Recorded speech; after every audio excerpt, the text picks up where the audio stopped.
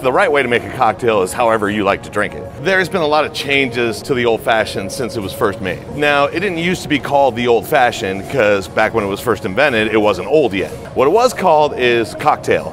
And back then, they didn't have any other cocktails. That was it. They had various punches and things like that, but they didn't have a cocktail. This was the very first cocktail. And a cocktail basically consisted of a spirit, sugar, bitters, and that's it. So with your very first cocktails, you didn't just make them with whiskey. You could also make it with cognac, you can make it with vodka, you can make it with gin, you could do anything you wanted to. So if you wanted an old fashioned, what it was back then was basically just a cocktail. So you asked for a gin cocktail or a whiskey cocktail. Now later on, other cocktails were made and hence the old fashioned became the old fashioned way of making a cocktail. So if you went up to a bar and you wanted a cocktail, you would say, Oh, make me a whiskey cocktail the old fashioned way. Now, around the time of Prohibition, whiskey was bad. Most of the liquors were bad. It was very difficult to get high quality spirits. You know, you might end up with something good from Canada, or you might end up with something that old crazy Joe made in his bathtub and it's the worst spirit you've ever had in your entire life. So, in order to just have an old fashioned with just a little bit of sugar and a little bit of bitters, you might have an awful tasting beverage. And that's when they started tweaking a little bit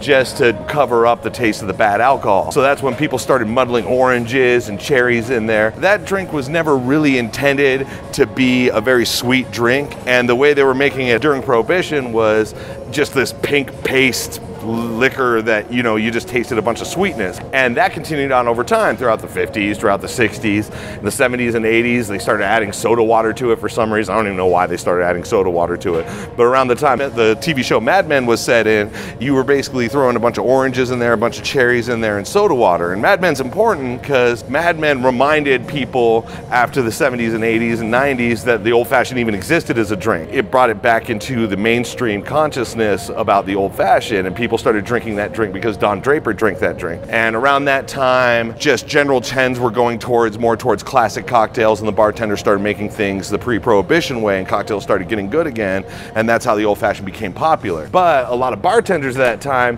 didn't know classic bartending techniques and classic cocktail making and stuff like that. They learned what they learned in the 80s, and that was to just make some pink goo with whiskey and put some soda water in there and call it an old fashioned. And you know, around that time, most of those guys weren't even used to making old fashions anymore because no one asked for them until Mad Men came out. And that's how people screwed up the old fashioned. a modern old fashioned is pretty much just the pre-prohibition way of making old fashioned. And then you can make a couple of changes to it if you feel inclined to. The way I like to make an old fashioned is I like to start off with a rye whiskey. Again, you can use whatever you want. You can use cognac, you can use bourbon, you can use gin. I don't, I don't really care for a gin old fashioned, but I like to use rye. So I would start off with about two ounces of rye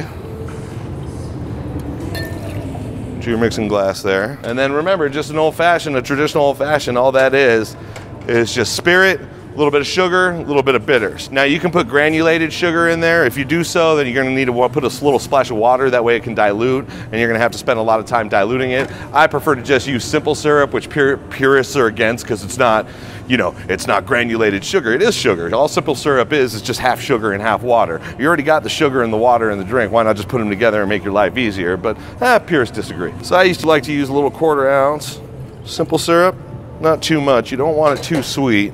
You want it to really just bring out the flavor of the spirit. And then just some Angostura bitters. Angostura bitters being one of the older, more popular bitters. I like to go with about three dashes in that. And personally, I like to throw a little orange bitter in there just for a little bit of extra flavor. And then get your ice and you stir it. You always want to stir and not shake an old fashioned. What the stirring does for you is it gives you greater control over the dilution of the drink. So water is the unsung hero of every cocktail. The more water you add to the drink, the more you dilute it. And something that's mostly just booze like an old fashioned, you want to have a good dilution ratio. That way it's not too in your face when you have your first sip. So you give it a good stir, your julep strainer, pour it over ice. I like to use a big cube. You just want a little orange swath here. You use an orange swath, and that's it, a pre-prohibition old fashioned.